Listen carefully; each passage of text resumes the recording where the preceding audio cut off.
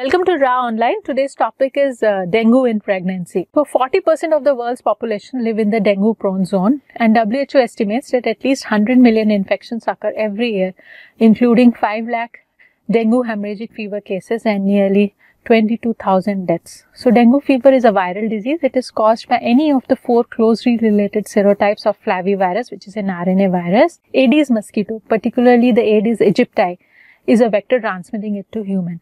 Most of the states in India are dengue endemic and early detection and access to proper medical care will reduce the fatality from 20% to below 1%. So we see that it is basically a disease of the southern hemisphere and the endemic regions are mostly the Latin America, the parts of Africa and India and the Southeast Asia. Dengue is caused by a family Flaviviridae which is group 4 SS RNA. And dengue is transmitted to humans by a mosquito Aedes aegypti and dengue infection in pregnancy carries the risk of hemorrhage for both the mother and the newborn and there is a serious risk of premature birth and fetal death.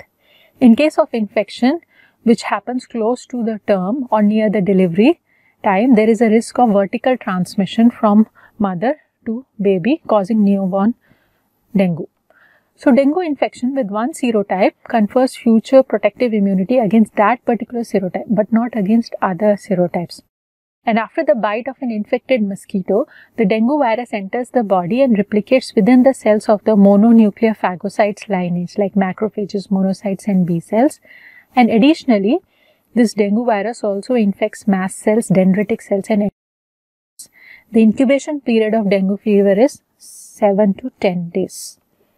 Whenever the patient is fever, having fever, that means she is having a viremic phase. So, a viremic phase follows where the patient becomes febrile and the patient is infective at the time she has fever and she has viremia. So, thereafter the patient may either recover or the patient may progress to a phase of plasma leakage leading to dengue hemorrhagic fever or even dengue shock syndrome. Now, peak plasma viremia correlates with the severity of dengue infections and some people respond differently to dengue infection. So the differences in individuals is because of differences in antibody, differences in the cytokine activation and differences in the T cell responses as seen among patients with uncomplicated dengue or dengue hemorrhagic fever or dengue shocks. So well managed frontline response saves the lives of dengue patients. Obstetrician is a frontline physician for pregnant women and obstetrician should shoulder the responsibility of identifying and managing dengue fever in pregnancy. Dengue fever is a notifiable disease and every dengue patient should be notified to the medical officer of health of that region. So this is the mosquito transmission which enters through the skin and the dengue virus enters into the bloodstream and it undergoes replication after releasing the decapsidation and single-stranded RNA release inside the platelet and once the mature viral particles are synthesized, the viruses are released in the blood. Now, in the phases of viremia, the person is infected and the bite of the mosquito leads to a uh, period of extrinsic incubation when the virus infects the midgut and eventually travels to the salivary gland. It takes around 8 to 10 days. This is the extrinsic incubation which happens in the midgut of the Aedes aegypti mosquito. So after getting matured in the midgut of the Aedes aegypti mosquito, they come to the salivary glands of the mosquito. And when this mosquito bites a person, the person gets a human infection and one mosquito can infect several humans at the same time.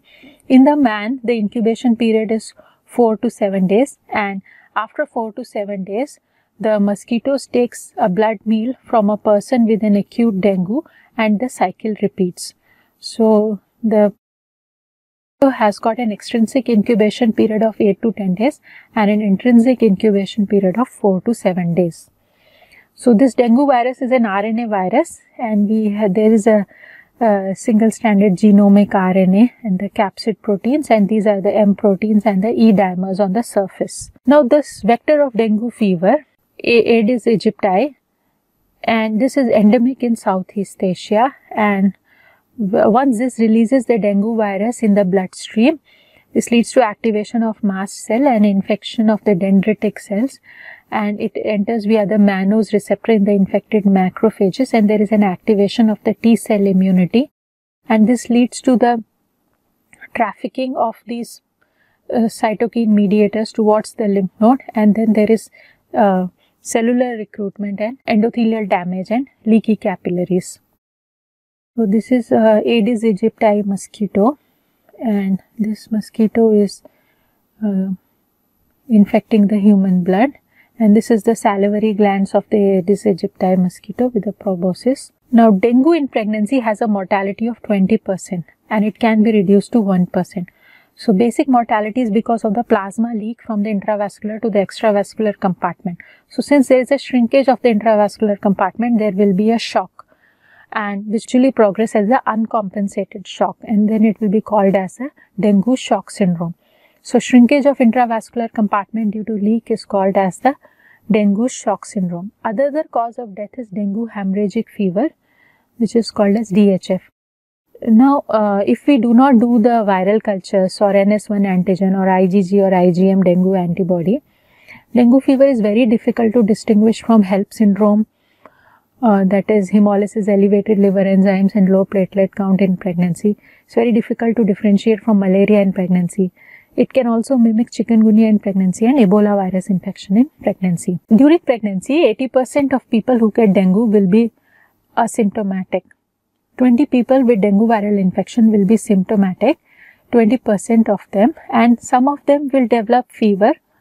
A few of them will develop dengue hemorrhagic fever, and a few of them will develop the dengue shock syndrome. And this can progress from a compensated shock to an uncompensated shock, is also called hypotensive shock. And the uh, hallmark for the uh, dengue hemorrhagic fever is plasma leakage. So this is how the disease progresses. So there is an initial febrile phase which lasts for 3 to 4 days. Then there is a critical phase which lasts for 4 to 6 days and then there is a recovery phase of reabsorption which lasts from 6 days to around 12 days.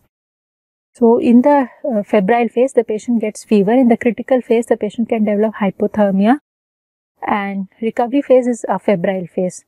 During in the febrile phase, the major uh, problem is that of dehydration. In the critical phase, the patient can go for shock features or bleeding features. When bleeding develops, it is called as hemorrhagic fever, and when shock develops, it is called as a dengue shock syndrome.